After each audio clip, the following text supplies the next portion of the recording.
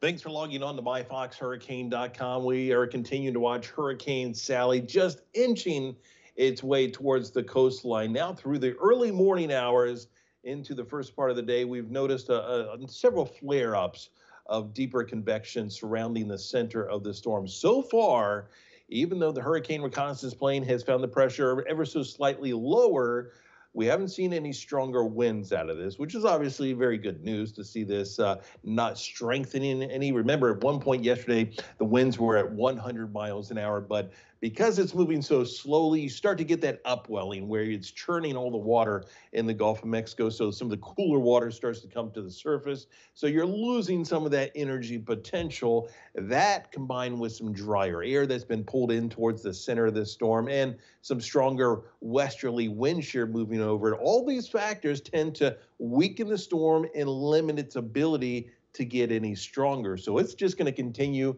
to very slowly inch its way towards the coastline. Starting to see some of these winds gusting to tropical storm force near the coastline. But what you're really noticing is just more and more of these rain bands working their way on shore.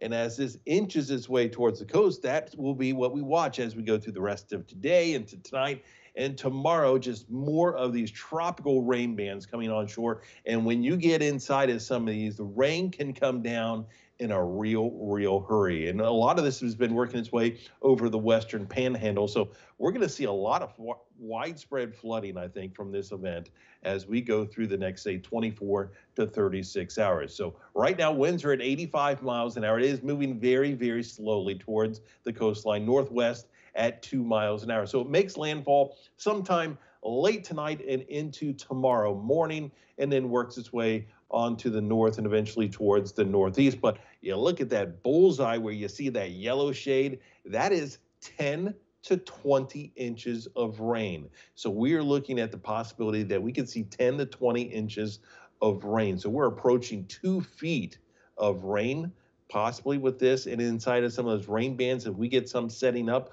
over the same areas we could see up to 30 inches of rain in some pockets so you combine that with a storm surge of four to seven feet, which creates its own flooding. But what it also does is, is it doesn't allow for that water that's falling, the rain that's falling to drain into the rivers, to drain into the creeks and flow off the land and drain away.